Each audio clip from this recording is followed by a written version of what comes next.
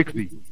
زه دا نسم ورته ویلی چې قرآن مجید وایي قل هو الله احد ځکه دی وایي زه قرآن نه منم نو په دغسې مسایلو کې یوازې دا کفایت نه کوي چې زموږ دلایل په قرآن مجید وي ځکه په قرآن مجید هغه وخت دلیل ویلی سو چې د الله جل جلاله وجود او وحدانیت په عقل ثابت کو که څه هم قرآن مجید په عقلي دلایلو د کفارو سره جدال او مناقشه کوي مګر د قناعت اصول دا نه دي چې موږ په اوله مرحله کې د قرآن مجید آیاتونه ورته وایو او ووایو چې بس دغه حکم دی فرضا که ته و یو نصراني ته ووایې چې څه دلیل لرې چې مسیح علیه السلام د الله جل جلاله زوی دی او دی هم د درو آلهو څخه یو اله دی العیاذ بالله او نصراني ووایي چې انجیل داسې وایي نو اوس ته په دغه دلیل قناعت کوې یا نه کوې ولې نه کوې ځکه ته اصلا دا د ده انجیل نه منې نو که اوس دغه نصراني ستا سره بحث کوي او ته ورته ووایه چې الله جل جلاله یو دی دی دلیل در څخه وغواړي ته ورته ووایه قرآن کریم وایي قل هو الله احد ایا دی دا حق نه لري چې دا زما دلیل ونه مني لکه زه چې د ده دلیل نه منم هو دا د ده حق دی نو اوس موږ څنګه د هغو سره بحث کولی سو او څنګه دلایل ورته ویلی سو بلکې تر هغو مهمو خپل ځانونه دي خپل ځان ته څنګه قناعت ورکولی سم او هغه شیطاني وسوسې چې راپېښېږي هغه څنګه ردولای سم؟ سبحان الله د انسانانو په نفسو کې یو شی شته چې پوښتنه کوي ایا واقعا دغه دین حق دی او شیطان دا وسوسه را اچوي چې الله عز وجل چا پیدا کړي العیاذ بالله او داسې نورې پوښتنې چې د انسان په عقیده کې شک او تردد پیدا کوي د دغسې ټولو سوالو د جواب دپاره باید و اصلي موضوع ته مراجعه وشي او په داسې موضوعاتو کې د بحث او جدال دپاره دوه شیان ضروري دي اول ژبه ته نسې کولای چې د هغه انسان سره بحث او نقاش وکې چې ته او دی د شیانو په فهمولو او پوهېدلو کې اختلاف ولري مثلا زه وایم دغه لمر دی دی وایي یا دا قلم دی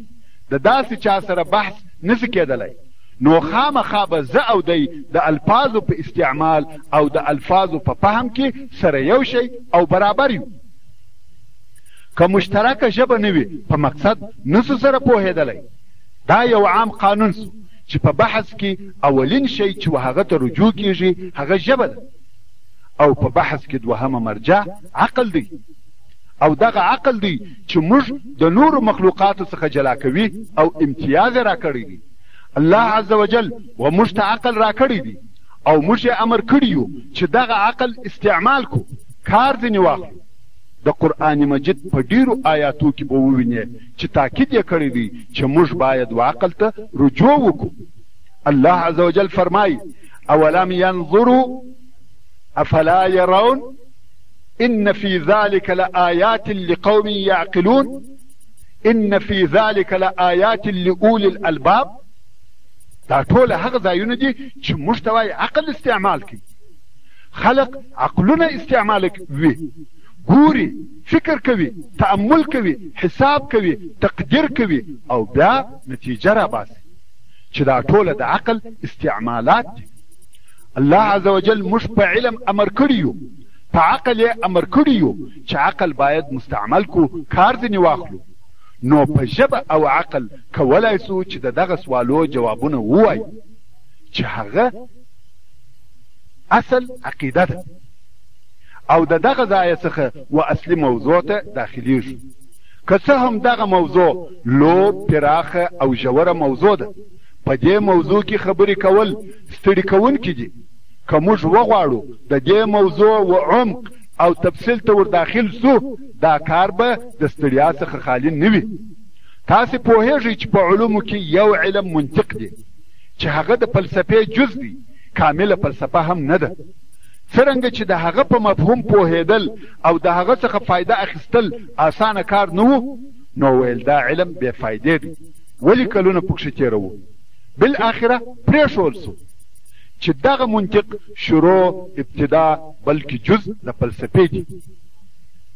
په منطقو کې یوازې عقل او د هغه حساب او نتیجه راوځي. چې دا د منطقو حال دی، نو د فلسفې په باره کې څه فکر کوې؟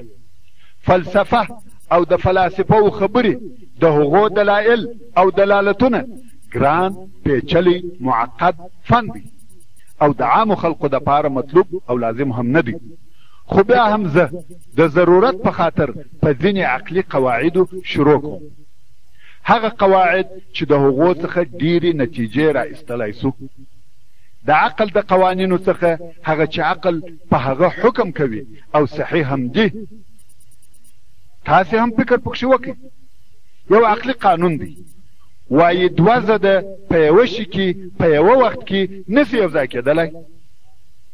دا غیر ممکنه ده چې دوه ضده دې په یوه شي او په یوه وخت کې سره یو ځای شي مثلا دغه ټیپ موجود دی که نه دی آیا دا ممکنه ده چې په دغه یوه وخت کې دې هم موجود وي هم غیر موجود یا عقل دا نه قبلوي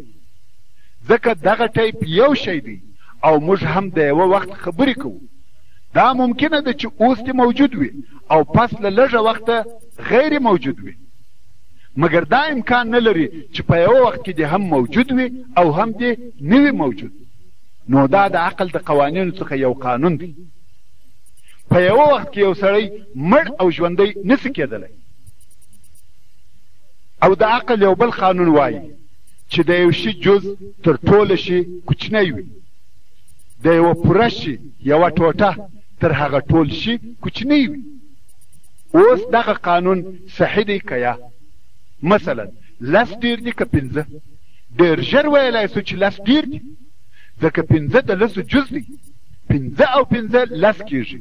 نو د یو شي جز تر هغه پوره شي کوچنی وي عقل کولای سي چې دغه حکم وکړي ورونو دغه دوه مثاله د عقل د قوانینو څخه د مثال په ډول ذکر سوه چې موږ په دې پوه شو چې عقل ځان ته صحیح او ثابته قوانین لري، هلته نور اصول او قوانین هم شته چې د بشر په ذهن او عقل کې ځای پر ځای شوي او مقرر شوي دي. هغه قواعد موږ کولای شو چې د هرې موضوع په بحث او دلایلو کې استعمال کړو. په هر علم کې د علومو ته کولای شې چې دغه عقلي قوانین بې له شکه او تردده استعمال کړې. چې ګای ګای دغه قوانین بې له فکره او بې له ځنډه پر خوله راځي او استعمالیږي نه ته دې ته ضرورت لرې چې فکر وکې چې پنځه لږ دي کلاس او نه مقابل طرف درته وایي چې دې ثابته که چې پنځه تر لسو لږ دي دا خبره و هیڅ بحث ته ضرورت نه لري نو دغه رنګه د الله عز وجل د وجود د اثبات لپاره هلته د قواعدو یو مجموعه سته چې په صراحت سره دا ثابتوي چې الله جل جلاله موجود دی چې د دغه قوانینو څخه اول قانون دا دی موږ انسانان د یو بشر په صفت د معلوماتو د پاره خپل حواس استعمالوو دا خو درته معلومه ده چې موږ پنځه حواس لرو د لیدلو حس د اوریدلو حس د بویولو حس د ذایقې حس یعنی د خوند کتلو حس او د لمس حس یعنی په لاس یا ګوتو یو شی لمسوو د هغه ګرم او یخ پوست او کلک زږ یا ښوی یې را معلومیږي چې و دې ته حواس خمسه ویل کیږي نو موږ انسانان د پاره د دې چې د یو شي معلومات وکړو د دغه حواسو څخه کار اخلو دا صحیح ده اوس نو پوښتنه درڅخه کوم چې دغه حواس مطلق او بلا نهایه دي که محدود دي مثلا غوږ یا د اورېدلو حاسه ته هر شی اورې او که داسې شیان سته چې ترې نه اورې یا د اورېدلو حاسه محدوده ده که هغه مصدر د آواز یو څه در څخه لیرې سو بیا یې آواز نه اورې دغه رنګه سترګې یا د لیدلو حاسه دید محدود دی که مطلق یا لیدل هم محدود دی تر یو معینې اندازې پورې لیدل کولای شې خو که هغه شی درڅخه لیرې سو بیا یې ته نه شې لیدلی په آسمان کې په ستورو کې ډېر شیان شته چې ته نه شې لیدلی